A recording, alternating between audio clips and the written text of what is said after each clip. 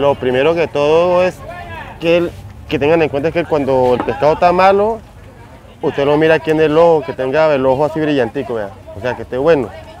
Y la galla que esté rojita.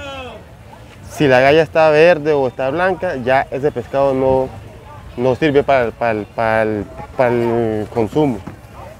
Y lo otro es que si usted va a rajar el pescado, y si el pescado usted lo raja, bueno, y usted lo abre aquí, si el pescado se le salen aquí las pullitas, ya también ya está listo, ya no sirve.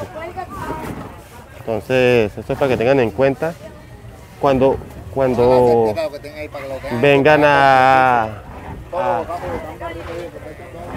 a, ¿qué? a, a comprar el pescadito para que lo lleven fresco. Pues con, con, con yuca, con plátano, con mafufo, con llame, con lo que ustedes quieran, el pescado es buena presa para eso. Pues ahorita está escaso por lo que por lo que el río, o sea, bajó durísimo, entonces el pescado que va subiendo es muy pequeño. Entonces la gente ya casi no lo coge porque está pequeñito. Entonces lo están dejando que pase.